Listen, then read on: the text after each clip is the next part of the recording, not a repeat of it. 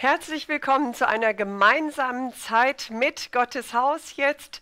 Wir wollen sehen, wie wir heute Abend das Wort Gottes empfangen, Kairos Worte von ihm empfangen und dass wir gestärkt aus diesem Abend rausgehen. Ja, Halleluja, herzlich willkommen. Als ich heute mich darauf vorbereitet habe, blieb ich an diesem Wort hängen aus Galater 4, Vers 4. Als die Zeit erfüllt war, sandte Gott seinen Sohn. Ein wichtiges, markantes Wort, ein Wort, was die ähm, Zeitenwende, die Zeitgeschichte, alles, was es überhaupt bis dahin gab, äh, möglich gemacht hat. Denn mit Jeshua Hamashiach kam alles in eine neue Ordnung und wir haben das Geschenk des neuen Bundes. Halleluja, jawohl, sehr cool. So, wir Grandios. wollen miteinander. Ja, das ist großartig. Wir wollen jetzt miteinander beten, dass wir uns innerlich auch bereit machen, um diesen Kairos-Moment, den der Herr für uns heute Abend hat, wo wir sein Wort, dieses spezielle Kairos-Wort von ihm hören und empfangen. Ich bin sicher, wir gehen davon aus, dass der Herr treu zu seinem Wort ist und dass er uns heute Abend, dem einen, dem anderen, unterschiedlich, wie auch immer, solche Worte zukommen lässt. Lieber Heiliger Geist, wir danken dir, dass du redest zu unseren Herzen. Vater im Himmel, wir danken dir, dass du Jeshua Hamashiach, deinen Sohn, gesandt hast in diese Welt, dass wir das Leben in ihm gefunden haben, dass wir geantwortet haben auf seinen Ruf und dass wir ihm folgen unser Leben lang. Wir danken dir für das Leben, was wir geschenkt bekommen haben, schon hier schon jetzt, aber was ausreicht bis in alle Ewigkeit, Halleluja. bis wir vor deinem yes. Thron stehen yes. und das neue Lied der Erlösten gemeinsam singen. Herr, wir danken dir für Kairos Momente an diesem Abend und für Kairos Worte aus deinem Mund. Amen. Amen. Und ich habe gleich einen wirklich coolen Kairos-Moment, den du dir unbedingt notieren solltest. Das stimmt. Im Jahr 2019 haben wir einen Schofa-Einsatz gemacht in der Nähe von Gera auf der Schmirchauer Höhe. Und zwar, und zwar, und zwar am 24. August 19. Und dort gab es einen prophetischen Impuls. Und der Impuls war, zehn solcher Einsätze, Schofa-Einsätze, und Deutschland ist verändert für immer. Und dann haben wir angefangen, spezielle Schofa-Einsätze, wo der Herr uns ja da wie durch Magaben gesagt hat, das gilt für ganz Deutschland, zu zählen. Und in der Tat, vor kurzem waren wir auf dem Sentis in der Schweiz, das war der neunte Einsatz. Und jetzt haben wir den zehnten Einsatz vor uns. Und ich muss sagen, ich war etwas überrascht. Ich hatte mir weder den Ort noch den Termin hätte ich mir ausgesucht. Das, ich habe ich hab extra nochmal nachgefragt im Gebet. Und äh, ja, aus hunderten von möglichen Orten hat sich das jetzt rauskristallisiert. Ich hätte ja ein paar gute Vorschläge gehabt. Ja, das ne? stimmt. Das Wir haben auch ein paar interessante Vorschläge äh, einfach uns zugesandt bekommen. Aber jetzt, so ist es, wir gehen nach Schleswig-Holstein und zwar mitten in Schleswig-Holstein liegt die Stadt Neumünster. Und wir werden nach Neumünster gehen zum Treffen und hinterher an einen Ort fahren, der ist ein bisschen weiter weg, wo wir blasen werden, gemeinsam mit Betern aus Schleswig-Holstein. Und zwar am 8. Oktober. 8. Oktober in Schleswig-Holstein gibt es den 10. Schofa-Einsatz. Halleluja. Und der ist natürlich etwas ganz, ganz Besonderes, weil es eben der 10. ist. Ähm, es gab ein paar kleinere noch zwischendrin und es ja. wird auch weiter Schofa-Einsätze geben. Aber jetzt dieser hier, das ist der 10. Und ich möchte dich herzlich einladen, dabei zu sein. Das ist wirklich was Besonderes. Das ist wirklich was, wo wir davon ausgehen, dass das auch echt etwas bewirkt für unser Land und für ganz Europa. Äh, also herzliche Einladung, auch wenn es vielleicht ein weiter Weg ist, dass du dabei bist. Wir haben schon Zusagen bekommen von Leuten aus der Schweiz, die gesagt haben, da werde ich dabei sein. Also wenn es für die nicht so weit ist, dann ist eigentlich ja. für niemand so weit. Ne? Ähm, also herzliche Einladung. Ich werde auch in Kürze ähm, ein E-Mail versenden mit äh, den Möglichkeiten, wo du dich anmelden kannst. Aber du kannst dich auch jetzt schon auf unserer Webseite anmelden. Wir haben da die Webseite vorbereitet mit dem Anmeldeformular. Also einfach unsere, ja da steht's, genau, Schofa hinten. Und dann äh, kannst du da dich, ähm, ja, mit wie vielen Personen auch immer anmelden. So, es gibt dort in Neumünster die Möglichkeit, Schofahörner zu kaufen und wir wissen nicht, wie lange das noch möglich ist. Also nochmal herzlich die, herzlich die Einladung, auch wenn du dich für Schofer interessierst oder sagst, okay, ich will das gerne mal testen und so weiter, da wirst du wirklich eine große, große Zahl von Schofahörnern zur Verfügung haben, zu testen, zu gucken, äh, auch eben zu kaufen. Ähm, wir werden ähm, Möglichkeit haben zum Vernetzen. Wir werden dann den Einsatz haben, also wir treffen uns, wie gesagt, ab 9 Uhr ist dann offen, ab 10.30 Uhr geht es los mit Einleitung, mit Abendmahl und so weiter.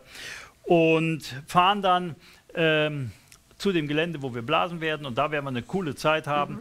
mit den Betern, auch mit Lobpreis. Und äh, anschließend dann, ich sag mal so im Picknickstil, auch noch äh, zusammen sein. Also einfach noch Zeit der Gemeinschaft haben. Gut, 10. Oktober ist für Picknick jetzt nicht unbedingt so. der Zeitpunkt muss hier was Warmes mitbringen, ist schon klar. Aber es gibt Essen, es gibt Trinken und äh, es wird eine super Sache sein. Herzliche Einladung also, dich dabei anzumelden. Es wird auch, wie die ganzen letzten Male, auch per Zoom sein. Ja, äh, auch wenn du bei Zoom dabei sein willst, musst du dich natürlich anmelden, dass du die Infos kriegst. Ähm, und ja, wir freuen uns. Wir sind gespannt. Wie gesagt, ein Termin, ja. den der Herr uns auf, äh, äh vorgegeben hat. Und Neumünster, 8. Oktober, Schofa-Einsatz. Der zehnte von zehn. Es äh, wird etwas berühmt, äh, Besonderes sein. Und noch ein Hinweis zu diesem prophetischen Wort. Ähm, äh, Deutschland ist verändert für immer. Das ist ja neutral. Ne? Verändert heißt mhm. ja nur nicht, dass wir das so sein muss, wie wir uns das ausgemalt haben.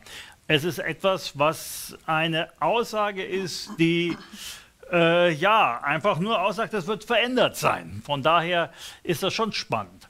Ne? Und gerade das, was wir auch jetzt äh, heute hier in diesem Livestream haben, über Kairos, über die prophetischen ähm, Worte, die Updates habe ich es genannt, äh, das wird genau in die Richtung gehen. Von daher, wir freuen uns, wenn möglichst viele dabei sind.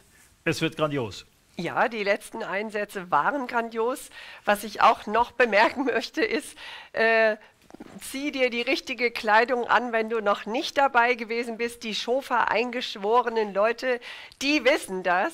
Und ähm, ich war etwas in meinem Outfit überrascht gewesen am Sentis, als es nur 14 Grad hatten. Ja. Aber ähm, ich denke, es wird ein super Einsatz werden. Der Tag 8 ist immer auch eine wichtige Zahl. Der Monat 10 für den 10. Einsatz ist super. Und wir sind gespannt und freuen uns, viele, viele mit dabei zu haben, viele mitzunehmen. Ja, und wenn du nicht Schofer bläst und gern dabei sein willst, ja. geht das natürlich auch, genau. weil es ist natürlich auch für Beta offen. Und ja. wir freuen uns einfach, wenn das möglichst voll wird. Richtig. Ja, viele dabei sind, viele, viele sich rufen dabei. lassen für diesen besonderen genau. Einsatz. Herzliche Einladung. Yes. Genau. Wie es angekündigt war, möchte ich in dem Teil, den ich spreche, heute über diese Kairos-Zeitpunkte Gottes sprechen. Wir sind ja am Ende von unserer Fasten- und Gebetszeit angekommen heute und ähm, also ich war wirklich stolz darauf, dass wir es gut durchziehen konnten. Wir hatten einige Herausforderungen in dieser Zeit und trotzdem hat Gott uns so viel Gnade gegeben, dass wir das mit begleiten konnten. Und äh, so bin ich jetzt dann auch in der Vorbereitung weitergegangen, um zu schauen, was ist denn das mit diesen Zeitpunkten, mit diesen Kairos-Zeitpunkten im Wort Gottes in der Bibel. Denn eigentlich, eigentlich ist die Bibel ähm, eigentlich müsste die Bibel nicht Bibel heißen, sondern Kairos, äh, weil das sind alle Momente, alle Zeitpunkte, alles, was in der Vergangenheit liegt, in der Gegenwart ist und was in der Zukunft kommt. Das ist alles in diesem genialen, großartigen, liebenswerten Buch verzeichnet. Und ich wollte einfach mal ein bisschen da rein studieren, ein bisschen reinlesen, was waren denn... Ähm, Zeitpunkte. Und dann während der Vorbereitung habe ich schon gemerkt, das ist viel zu groß, das ist viel zu überwältigend. Man kann nicht alle diese Zeitpunkte ähm, aufzählen. Du musst sie immer wieder lesen. Du musst sie selber studieren. Denn Wenn wir uns mit diesem Kairos Gottes beschäftigen, dann werden wir feststellen, dass uns in der Bibel in seinem Wort, also diese Kairos-Momente und die, also Kairos, das sind die Zeitpunkte Gottes, diese besonderen, und die Zeitabläufe, also Kronos, diese Zeitbestimmung von Minute, Sekunde, Stunde, äh, diese Abläufe sind damit gemeint. Und in der Bibel leuchten die uns wie Schlaglichter, wie helle Lichter entgegen. Und ich habe gedacht, also als heute lebende Menschen sind wir immer auch in beides hineingestellt. Wir leben in dieser Zeit mit ihren Abläufen. Wir haben jetzt den 2. September. So, wir haben eine bestimmte Uhrzeit, wo wir uns hier im Livestream treffen. Wir sind in diesen ganz normalen Abläufen. Und wenn du irgendwie mal äh, warten musstest, dass endlich eine bestimmte Uhrzeit kommt oder sich etwas Bestimmtes erledigt, etwas Bestimmtes ergibt, dann kannst du dir kannst du dich erinnern, dass das manchmal echt ein langes Warten ist. Und du sehnst diesen Augenblick herbei, wo es dann weitergeht. Oder ähm, wenn du äh, Zeiten erlebt hast, die schwer gewesen sind, die dich herausgefordert haben, dann blickst du auf diese Zeit zurück und sagst, ja, das war schwer, aber jetzt ist der Zeitpunkt gekommen, wo es wieder gut ist, wo es besser ist, wo es ähm, besser werden wird. Und so sind wir wirklich in diesen beiden Dimensionen, würde ich sagen, dass wir im normalen Zeitablauf leben, aber Gott spricht in unseren Alltag hinein. Er sendet uns seine Kairos-Momente in unseren Alltag.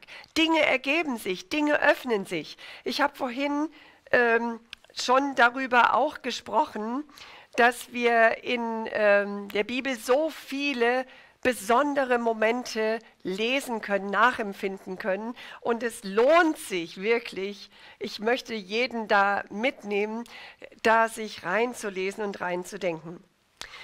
In Prediger 3, Vers 11, da lesen wir von diesem wichtigen äh, Hinweis, der auch für die Menschen gilt, die in der Welt sind. Also wir sind ja auch in diesem Fasten und Beten dabei gewesen, dass wir unsere Herzen aufmachen wollten für die Verlorenen, dass wir uns gewinnen lassen vom Wort Gottes zu Botschaftern und zu Gesandten zu werden, die in diese Welt hineingehen und die Menschen rufen. Und manche sagen, oh, es ist so schwer, die Leute wollen nichts davon hören, sie sind nicht bereit für das Wort Gottes, sie sind nicht offen. Und ich möchte dir dieses Wort aus Prediger 3, Vers 11 sagen. Es wird ein Zeitpunkt Gottes in jedem Menschenleben geben. Jeder Mensch wird irgendwann von Gott hören. Er wird sogar seine Knie vor Jesus beugen. In diesem Vers heißt es, alles hat er schön gemacht zu seiner Zeit. Auch hat er die Ewigkeit in ihr Herz gelegt, nur dass der Mensch das Werk nicht ergründet, das Gott getan hat, vom Anfang bis zum Ende. Also Gott selbst der den Menschen gewollt und erschaffen hat, hat Ewigkeit in sein Herz gelegt. Da ist ein Sehnen. Vielleicht wird das Sehnen in manchen Menschenherzen runtergedrückt. Es wird überflutet von irgendwelchen anderen Nachrichten, Informationen, Dingen, von vielen, vielen wichtigen und sehr viel mehr noch unwichtigeren Dingen. Aber dieses Wort steht. Ewigkeit ist in ihr Herz gelegt. Die Bibel ist für mich das Buch, das die Dinge, die wichtig sind zu wissen, für uns aufgehoben hat. Und das sind diese Kairos-Momente, die sich vor unseren Augen entfalten. In, von 1. Mose 1, da lesen wir am Anfang war das Wort oder am Anfang hat Gott die Welt geschaffen. Am Anfang war es wüst und leer, alle diese Dinge. Und bis zur Offenbarung 22 lesen wir dann dieses Ende. Es gibt diesen roten Faden der Kairos Zeitpunkte Gottes in seinem Wort. Von 1. Mose 1 bis Offenbarung 22. Da heißt es in Vers 21, ja, ich komme bald. Ich komme bald. Das ist ein Kairos-Zeitpunkt, der absolute Priorität haben wird für alle Menschen. Ja, ich komme bald. Amen. So sei es. Amen.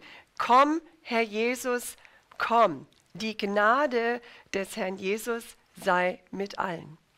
Das ist unsere Zukunft, unsere Aussicht. Da wird unsere Reise zu ihrem Ziel kommen. Über Jesus wird uns in Johannes 21, Vers 25 geschrieben, es gibt auch viele andere Dinge, die Jesus getan hat, und wenn diese einzeln niedergeschrieben würden, so würde, scheint mir selbst, die Welt die geschriebenen Bücher nicht fassen. Also du kannst diese vielen, vielen Dinge, die Gott getan hat, die er in Christus getan hat, die er mit dem Heiligen Geist getan hat, wir können sie gar nicht alle lesen oder bedenken, weil man kann die Bücher nicht fassen, um diese Kairos-Momente alle zu verstehen, zu erkennen und sie wiederzufinden. Einige der Kairos-Momente, die will ich also aus der Bibel, die möchte ich jetzt betrachten mit uns und wir wollen das Wort Gottes hören. Wir haben vorhin gebetet dafür, dass ähm, in diesen Betrachtungen von dem biblischen Wort jetzt mit den Kairos-Momenten und auch nachher mit den prophetischen Worten, dass wir erkennen, welches Wort der Herr für dich auch persönlich hat. Gleich zu Beginn, als ähm, Anfang des Berichtes in 1. Mose 1, da lesen wir sowohl von dem zeitlichen Erschaffen, du weißt, da gab es den ersten Tag, den zweiten Tag bis zum siebten Tag und diese Aufforderung, am siebten Tag sollt ihr ruhen. Diese Tage werden aufgezählt und das ist auch ein Kairos Gottes, denn es war Gottes Intention, diese Welt ins Dasein zu rufen, diese Welt zu schaffen in ihrer grandiosen Schönheit und den Menschen mitten in diesen Garten hineinzusetzen, diese Krone der Schöpfung, dieses, ähm, wo der Herr gesagt hat, ich möchte ein Gegenüber haben, ich möchte Gemeinschaft haben, ich möchte, dass da einer ist gleich wie wir. Schauen wir uns weiter die Menschen in der Bibel an und wie sie in den Kairos-Momenten ihres Lebens von Jahwe bewahrt und gesegnet wurden, gesehen wurden, mit ihnen gesprochen wurden. Dann bleiben wir in 1. Mose 6 gleich hängen bei dem Bauwerk der Arche.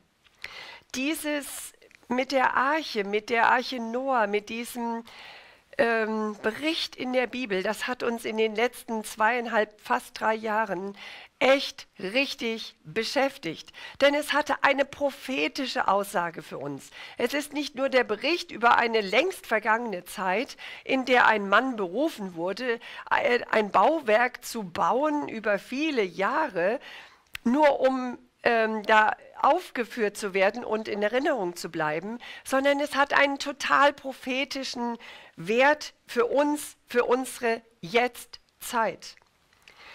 Und für uns war am Anfang des Jahres 2022 dieses prophetische Wort in einer Gebetszeit gekommen, ähm, wo der Herr gesagt hat, beginnt eine Arche zu bauen.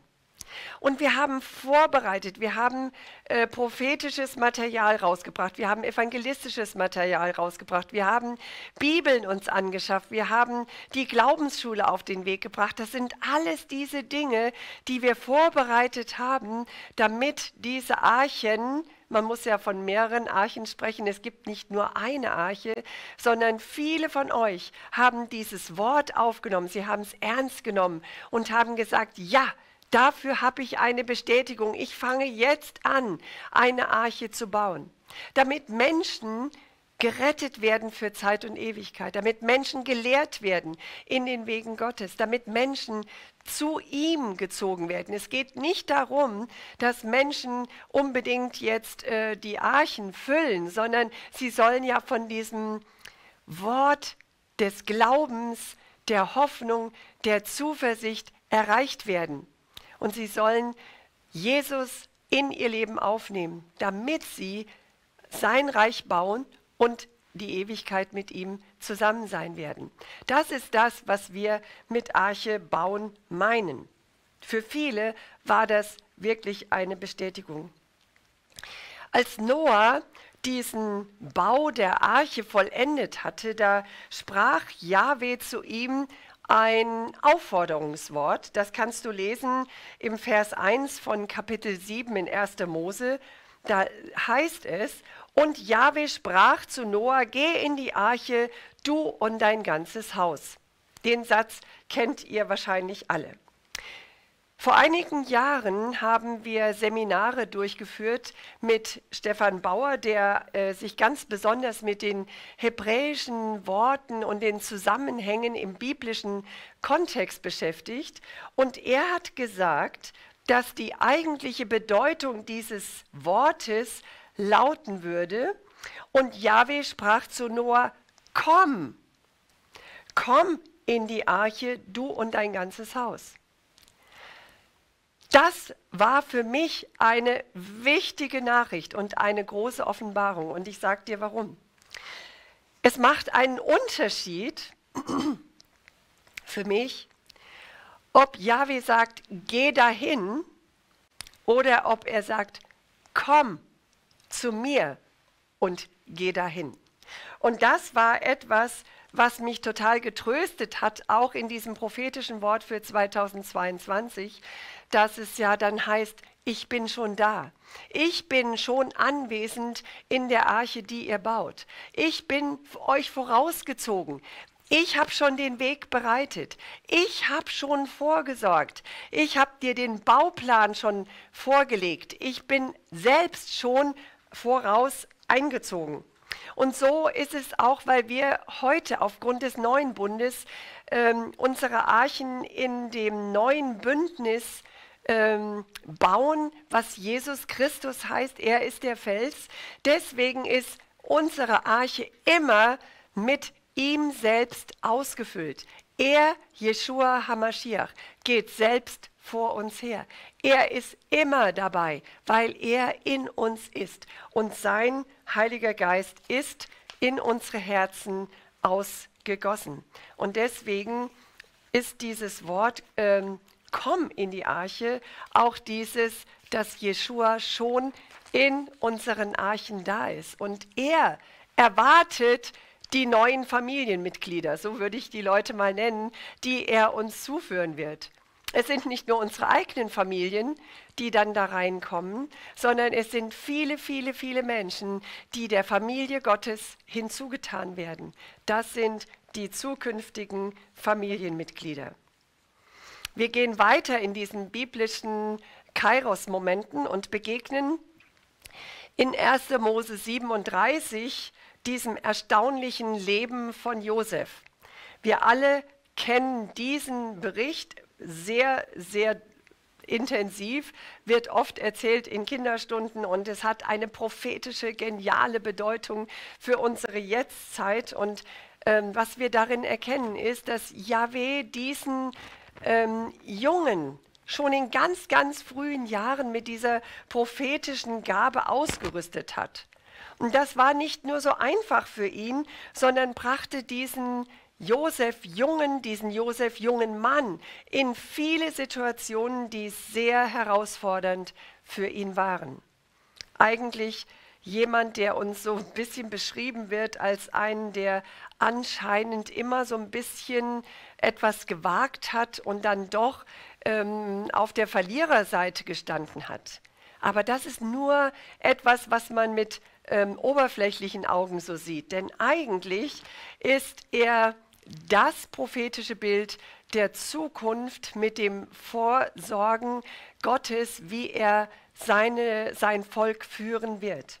Du kannst lesen in Psalm, ähm, ich glaube 115, jetzt habe ich es vergessen hier reinzuschreiben, ich sage euch das nochmal. Ähm, da heißt es, tastet meinen Gesalbten nicht an, tut meinen Propheten nichts Übles. Er, Jahweh rief eine Hungersnot über das Land herbei, jeden Brotstab zerbrach er. Und jetzt kommt es. Er sandte einen Mann vor ihnen her. Josef wurde als Knecht verkauft. Sie zwängten seine Füße in Fesseln, in Eisen kam sein Hals. Und jetzt wichtig, der Kairos-Moment Gottes. Eisen kam in, an seinen Hals. Bis zu der Zeit, da sein Wort eintraf, das Wort Jahwes ihn bewährte. Und dann sandte der König hin und ließ ihn los, der Herrscher über viele Völker, und befreite ihn. Er setzte ihn zum Herrn über sein Haus, zum Herrscher über all seinen Besitz. Das ist das Zeugnis über Josef, was wir in dem Psalmen lesen. Eisen wurde um seinen Hals gelegt. Das heißt, er wurde anderen Mächten, die stärker waren als er, von ihnen wurde er eingezwängt, gebeugt, wurde ähm, nicht freigelassen. Aber Gott war trotzdem bei ihm. Und es kam dieser erstaunliche, geniale Kairos-Zeitpunkt, als Gott sein Wort wahrmachte. Das, was er vorhatte mit diesem Leben dieses Menschen, kam zur Realität. Und Josef wurde befreit. Und nicht nur befreit, sondern hoch erhoben, plötzlich, von einem Tag auf den anderen. Er, der vorher gedemütigt war, der so lange Jahre im Gefängnis war, er wurde einfach an einem Tag erhoben zum zweiten Mann nach dem Pharao. Das ist ein gewaltiger Kairos-Moment Gottes gewesen. Und das müssen wir aus diesem Beispiel der Bibel mitnehmen. Einer der nächsten erstaunlichen Berichte, der zeigt, dass sogar Naturgesetze ausgehebelt werden, wenn es um den Kairos-Moment Gottes geht. Wenn sich Kairos-Momente Gottes diesen Naturgesetzen sogar unterordnen müssen. Lies mal in Josua 10, 13 bis 14. Da wird uns Folgendes berichtet. Damals redete Josua zu dem Herrn an dem Tag, als der Herr die Amoriter vor den Kindern Israels hingab und sprach vor den Augen Israels. Und jetzt kommt's. Sonne, steh still in Gibeon und du Mond im Tal Ayalon. Und die Sonne stand still und der Mond blieb stehen, bis die Nation sich an ihren Feinden gerecht hatte. Und die Sonne blieb mitten am Himmel stehen und eilte nicht zum Untergang, ungefähr einen ganzen Tag. Und es war kein Tag wie dieser vor ihm und nach ihm, dass der Herr auf die Stimme eines Menschen gehört hätte. Denn der Herr kämpfte für Israel. Was für ein gewaltiger Bericht, was für ein Wort, was für ein Kairos-Moment Gottes, wo sich Naturgewalten unterordnen. Als ich das wieder gelesen habe, da habe ich gedacht, wow, das ist krass, das ist so genial, das ist etwas, was in unser Leben spricht etwas, wo Jahwes Zusage an Josua feststand, wo er Josua zugesagt hatte, fürchte dich nicht vor ihnen, denn in deine Hand habe ich sie gegeben. Das ist ein Wort, ihr Lieben, für dich in den Dingen, wo du mit feindlichen Machenschaften, mit Herausforderungen, mit Attacken konfrontiert bist. Es ist ein Wort für diese besondere Zeit, in der wir stehen. Du musst es mitnehmen in deinem Herzen, dass du in diesen Glauben dich hineinbewegst, dass der Herr alle Dinge, alle Dinge möglich macht, dem, der da glaubt. Lesen wir weiter in dem Buch Richter 4 von Deborah. Bei ihr war das natürliche Wort da und der Zeitpunkt vorbereitet, der den Sieg eben zu einem bestimmten Kairos-Moment hervorbringen würde. Deborah ist in dem ganzen Richterbuch die einzige Frau, die im alten Bund ihrer Zeit und Berufung weit voraus war. Das finde ich immer sehr tröstlich, wenn ich von Deborah lese, die eben als Frau gestanden hat, die in einer äh, männerdominierenden Welt wirklich eingesetzt war von Yahweh selbst und die richtig ähm, weise und klug in den Worten Gottes gehandelt hat. Deborah wohnte zwischen Rama und Bethel und sie ist eine von Gott eingesetzte Richterin. Und ihr richterlicher Sitz ist tatsächlich unter einer Palme, die ihren Namen trägt, die Deborah-Palme. Deborah, das ist in der Bedeutung des Namens mit dem Begriff Wort oder Ausspruch eng verbunden oder verwandt und könnte ein Hinweis darauf sein, dass sie ja prophetisch von Yahweh begabt war. Sie hatte prophetische Worte von Yahweh bekommen. Und das war für das ganze Volk und für ihre richterliche Tätigkeit absolut wichtig. Ich, wir beten manchmal, dass Richter aufstehen, die aufgrund des prophetischen Redens Gottes Recht sprechen, die sich nicht beugen, die nicht aufgrund von irgendwelchen dominierenden Gewalten, Mächten und sonstigen äh, sich äh, klein beigeben, sondern die das Wort Gottes in gerade Richtung schneiden. Die Menschen damals vom Volk Gottes, die kamen zu Deborah.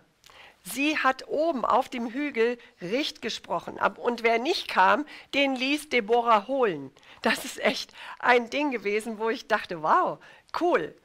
Denn es kommt zu der Situation, dass Deborah Barak den Heerführer holen lässt.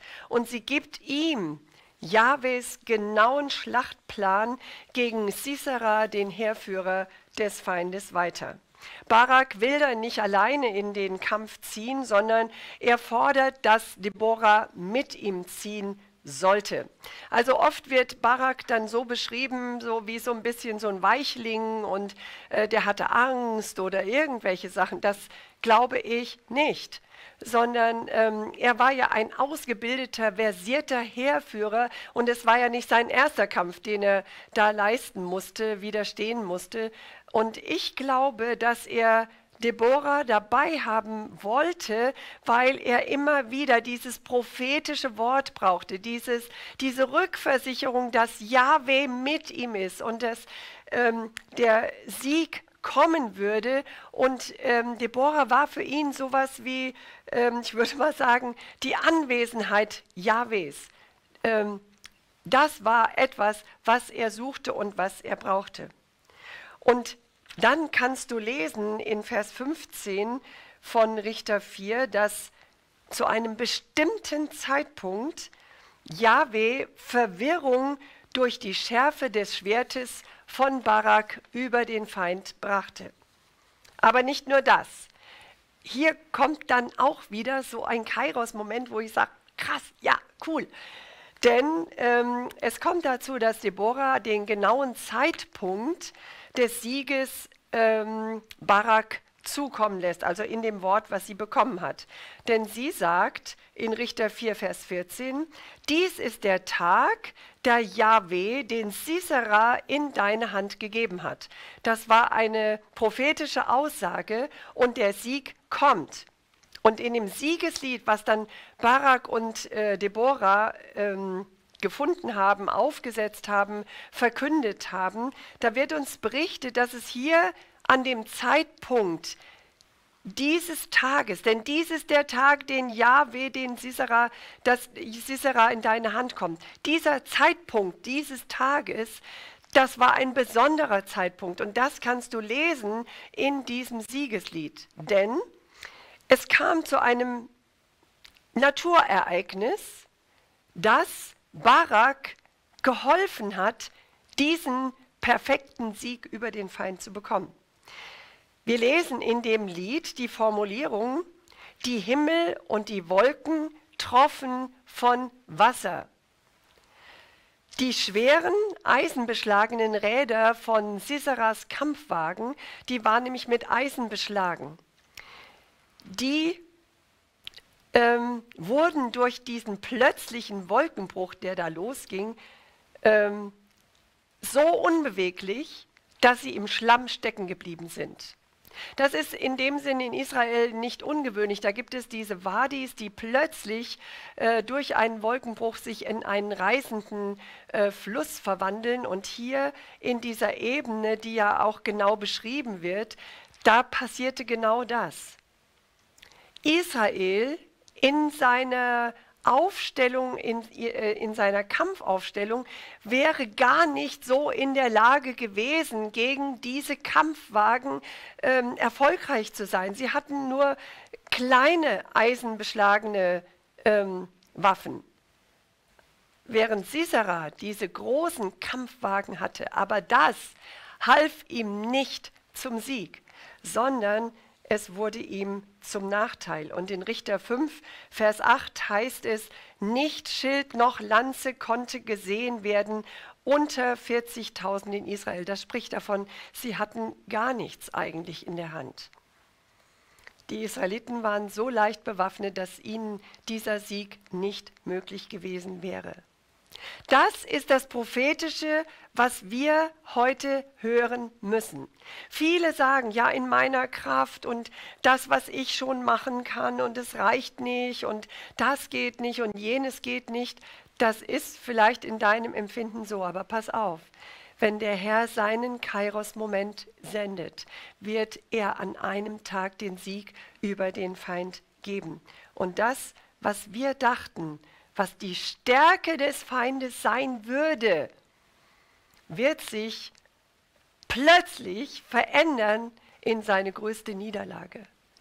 Denk einfach mal nicht, dass der Feind nur unglaublich stark ist und du bläst ihn auf und du machst ihn durch deine Worte noch größer, als es ihm überhaupt zusteht. Er ist nicht groß. Groß allein ist der Herr. Und an diesem Beispiel von Barak und Deborah siehst du, Gott kann alle Dinge verwenden, damit es zu einem Kairos-Zeitpunkt für seinen Sieg kommt. Unser nächster Bericht ist aus Ruth, aus dem Buch Ruth, die Braut die gesegnet wird oder die gesegnet sein wird. Und wir kennen alle diesen wirklich beeindruckenden Bericht in Buch Ruth der Braut, die aus der Nation kommt, die eigentlich gar nicht zum Gottesvolk gehörte, eigentlich eine Unmöglichkeit, aber dennoch, dennoch wurde sie erwählt, Trägerin der Hoffnung zu sein. Sie gehört zum Stammbaum Jeschuas, obwohl das gar nicht möglich gewesen ist. Und trotzdem kommt dieser Kairos-Moment, als Naomi mit Ruth unterwegs ist und sie will Ruth nach Hause schicken, zurück in, ihre, in ihr Volk, in ihr Land. Und Ruth sagt, nein, ich will mit dir gehen. Dein Gott ist mein Gott und ich werde mit dir gehen und ich will bei dir sein. Und das ist etwas, was diesen Kairos-Moment hervorgebracht hat.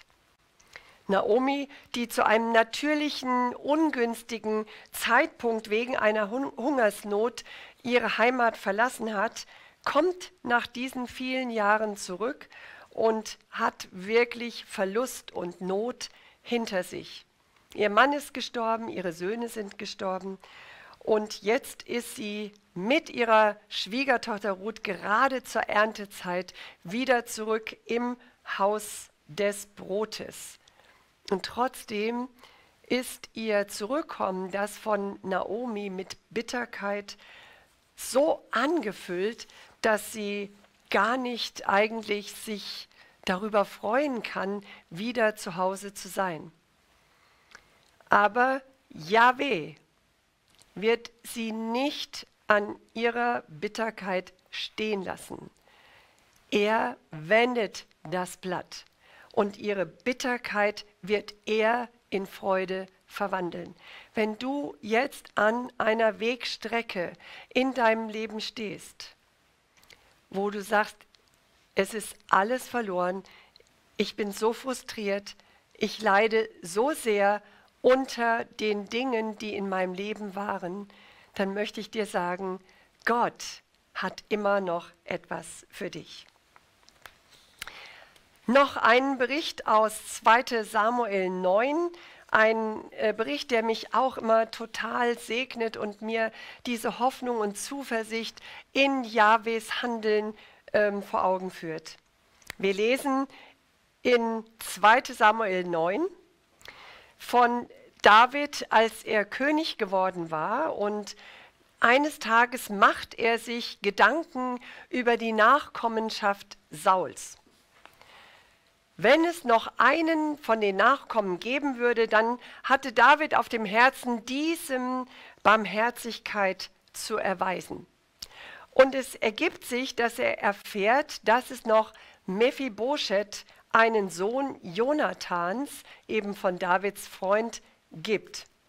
Der wohnt in Lodebar. Das bedeutet, dieses Wort Lodebar bedeutet keine Weide oder kein Wort oder keine Kommunikation. Es war so, dass Mephibosheth durch Irren, äh, durch die Wirren dieser äh, schnellen, ähm, des schnellen Aufbruchs äh, in diesen Kriegszeiten oder in diesen Umbruchzeiten von einer Frau, einem Zimmermädchen gerettet werden sollte und ihr fällt das Kind aus den Armen und Mephibosheth ist an den Beinen und Füßen gelähmt. Er kann nicht mehr laufen. Und so verbringt er sein ganzes Leben. Er bezeichnet sich an einer Stelle sogar als einen armen Hund, dem nichts zusteht. Und dieser eine entscheidende Moment, als der Kairos Gottes auf sein Leben leuchtet, bringt ihn von Lodebar an den Tisch des Königs.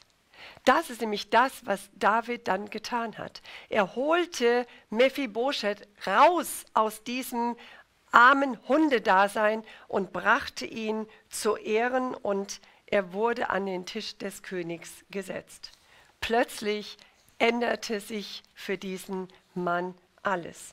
Und nicht nur an den Tisch des Königs gesetzt, sondern ihm wurde auch ein Mann zugeordnet, der über seine Ländereien und sein Vermögen ähm, sorgen sollte. Jesus ist unser König. Er zeigt uns seine Gunst, sein Wohlwollen, seine Gnade, seine Barmherzigkeit in der Hingabe seines Lebens seines Auferstehungslebens, des neuen Bundes, in dem wir leben. Und das ist etwas, was uns alle herausgeholt hat aus Sünde, aus Vergehen, aus dem Dreck, in dem wir vorher waren und uns erhoben hat an den Tisch des Königs. Der Heilige Geist führt uns von unserem eigenen Lodebar an den Tisch des Königs, wo er uns seine Gunst und seine Türen öffnet. Die prophetischen Worte des alten Bundes, die auf Jeschua hinweisen, die kennt ihr alle. Jesaja 9, Vers 5 berichtet uns von dieser prophetischen Vorausschau auf den Kairos Gottes, der kommen würde. Denn ein Kind ist uns geboren, ein Sohn uns gegeben und die Herrschaft ruht auf seiner Schulter. Und man nennt seinen Namen wunderbarer Ratgeber, starker Gott, Vater der Ewigkeit, Fürst des Friedens. Was gewaltige Worte sind das. Und jedes, jede Bezeichnung, jedes Wort davon hat diesen Inhalt der Kairos-Zeitpunkte Gottes. Die gibt es nicht nur damals in der Beschreibung der prophetischen Worte, sondern sie haben Gültigkeit für jetzt bis in alle Ewigkeit. In Jesaja 51 lesen wir: Hört auf mich, die ihr Gerechtigkeit nachjagt, die ihr Jahwe sucht. Blickt hin auf den Felsen, aus dem ihr gehauen, und auf den Brunnenschacht, aus dem ihr gegraben seid. Und Jesaja 53 berichtet uns dann noch in dieser prophetischen Schau, dass sie uns den Messias, den leidenden Gottessohn vor Augen stellt, ihn, der Retter, der sterben würde. Wir haben ihn nicht erkannt. Seine Wunden für uns, seine Leiden für uns, damit wir Frieden hätten. Alle diese Aussagen, die Sünde, die er an seinem Leib ans Kreuz tragen wird, damit Vergebung äh, geschehen kann. Das sind Worte, die Kairos Zeitpunkte des alten Bundes mit dem neuen Bund verbinden, die eine Vorausschau, ein Vorausschatten im alten Bund auf das Neue, was Jeshua Hamashiach bringen würde, hervorleuchten lässt. In den Fasten- und Gebetszeiten hatten wir ganz oft diese Worte, dass wir die Nähe Gottes suchen und dass wir in der Beziehung zu unserem Herrn wachsen wollen, dass wir uns tiefer da reingraben wollen. Und manchmal ist es so, dass wir den Eindruck haben, dass unser Gebet und unser Flehen ähm, so aufgehalten ist, so noch nicht durchgekommen ist, dass der richtige Durchbruch fehlt. Wir sind belastet, wir sind ein bisschen niedergeschlagen, wir sind ein bisschen bedrängt, weil die Dinge, die wir auf dem Herzen haben, ähm, so attackiert sind auch. Und da äh, möchte ich dir nochmal jetzt diesen Bericht ähm, ans Herz legen von Daniel, der drei Wochen betete und ähm, trauerte und es heißt, er aß keine Speise, kein Fleisch, keinen Wein nahm er zu sich. Und nach dieser Zeit, nach diesen drei Wochen, hatte er eine Vision, die ihn völlig beeindruckte. Und in dem Text heißt es, dass sich seine Gesichtsfarbe veränderte und keine Kraft mehr in ihm war und dass er wie betäubt auf seinem Gesicht lag. Das kannst du lesen in dem Vers 8. Ein Engel war zu ihm gesandt worden, um ihm eine Botschaft mitzuteilen, wichtige Dinge. Und der Engel spricht ihn an, fürchte dich nicht, Daniel, Daniel, du viel geliebter Mann. Achte auf die Worte, die ich zu dir rede, und steh an deinem Platz. Ich bin dir gesandt, fürchte dich nicht, denn vom ersten Tag an, als du dein Herz darauf gerichtet hast, Verständnis zu erlangen und dich vor deinem Gott zu demütigen, sind deine Worte erhört worden.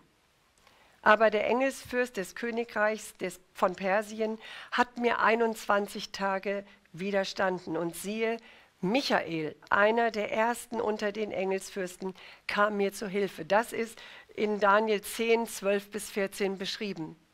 Wenn du das liest, dann kannst du dich da reindenken, wie sehr Daniel gebeten hat, wie sehr er gefleht hat und wie dann dieser Augenblick kam, wo er diese Engelsbegegnung hat und diese wichtigen Worte empfängt. Hier heißt es, dass Daniel sich vor Gott demütigte und wir lesen dann von dieser besonderen Begegnung. Manchmal ist es so, dass der Kampf wirklich in uns und um uns herum tobt. Satan, der altböse Feind, der herumschleichende Löwe, er kämpft immer noch und intensiver, weil er weiß, dass seine Zeit abläuft. Denn er weiß, dass es auch für ihn einen Kairos Jahwes gibt und geben wird. Er kämpft gegen Jesus, er kämpft gegen jeden Menschen auf dieser Erde, der dem Reich Gottes eigentlich zugeordnet werden wird.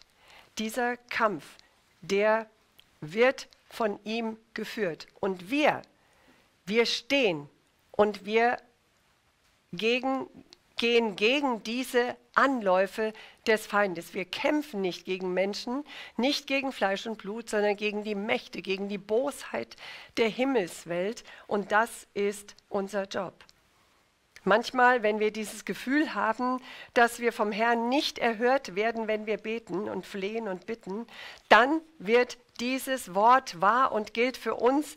Wenn wir beten, dann wird er uns hören. Als, David, als Daniel anfing zu beten, wurde sein Gebet bereits erhört, auch wenn es noch nicht in dem zeitlichen Ablauf zu sehen war.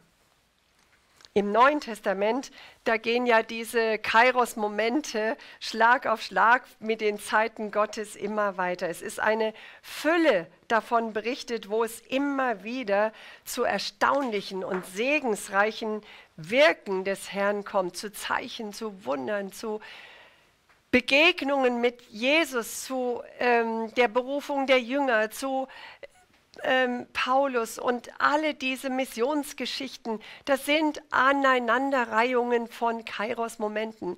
Und wenn du die Offenbarung liest, dann wirst du sehen, das ist wie ein großes Orchester, was da zusammenspielt und was zur Ehre Gottes erklingt. In Christus ist uns ein Geschenk gegeben worden, dass wir diese Kairos-Momente von ihm durch den Heiligen Geist verstehen und empfangen können. Diese Kairos-Momente sind für dein Leben und für mein Leben gedacht. Und wenn du zurückschaust an den Tag, wo du Ja gesagt hast zu Jesus, dann kannst du eigentlich nur dankbar sein für dieses große Werk seines Rufes für uns. Ich segne dich mit diesen Kairos-Momenten in deinem Leben. Ich segne dich damit, dass du sie wahrnimmst. Ich segne dich damit, dass du da rein drängst. Ich segne dich damit, dass du sie verstehst. Ich segne dich damit, dass du mit einem freudigen Herzen sagst, ja, was der Herr früher getan hat, das kann er auch heute tun. Und er kann es für mich tun. Nicht nur für die Menschen damals, heute auch für mich.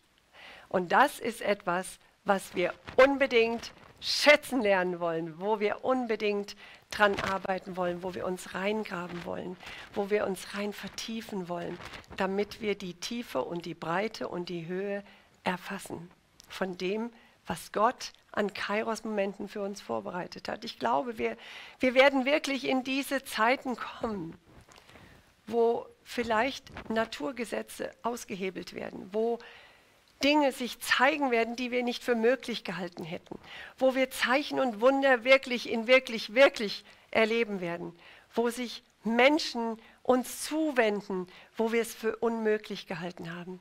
Ich glaube, dass wir auf diese Kairos-Zeiten zugehen, wo der Herr sein besonderes Wort in uns wahr macht, wo er durch den Heiligen Geist spricht und wo seine Zusagen zum Sieg über den Feind, über Hölle, Tod und Teufel wirklich führen wird. Sei sicher, Ewigkeit ist in ihr Herz gelegt. Menschen werden zu dir kommen. Sie werden dich fragen, weil der Heilige Geist ist es, der sie zieht.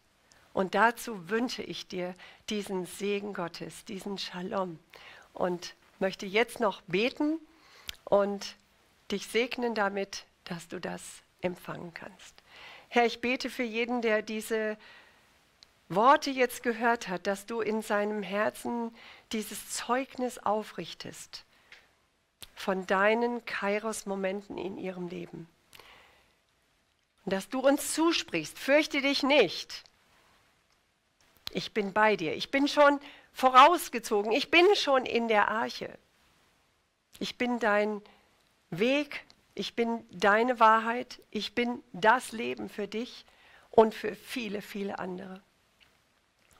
Ich danke dir, Herr, dass deine Kairos-Zeitmomente kommen werden und du wirst es uns zeigen.